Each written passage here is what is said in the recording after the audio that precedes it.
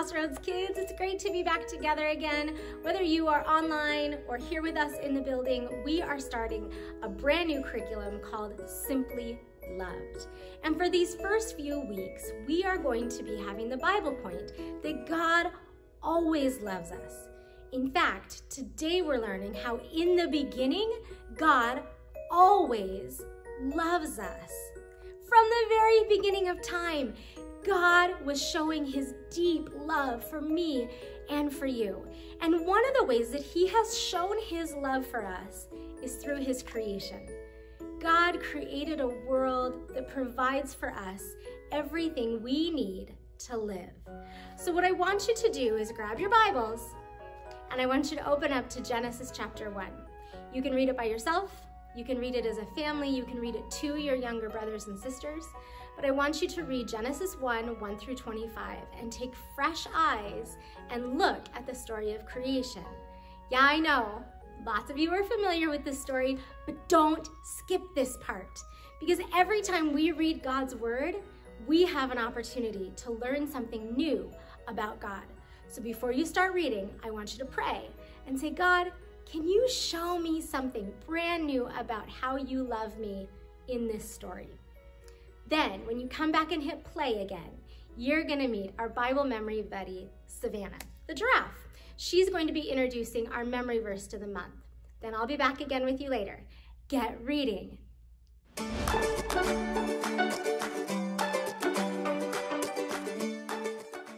Hey there, friends.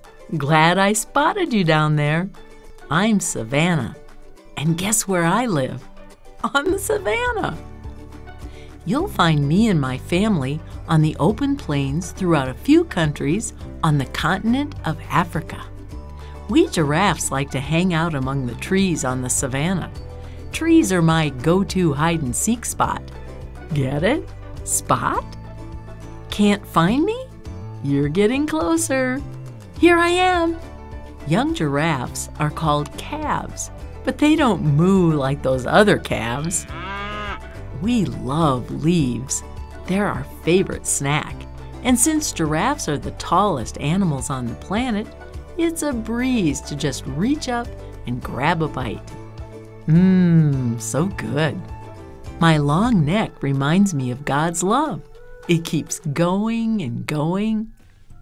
In the Bible, book of Ephesians, chapter 3, verse 18, it says, And may you have the power to understand as all God's people should, how wide, how long, how high, and how deep His love is. God always loves us. You don't have to be super tall like me to see His love for you. God created the world for us to live in. We can read about it in the first book of the Bible called Genesis. Every single detail in our world is designed by God and created for us to enjoy the sky, the water, the plants, and animals like me. God created the world and said it was good. So take a look around you. You can see God's love in the sky. You can hear God's love for you when birds sing in the trees outside. And you can even taste God's love when you eat your favorite food. Mmm. And you can share God's love too. When you see someone who's sad, your kindness shows God's love. Try to capture God's beautiful love and share it with someone today. It's a great way to spot a smile.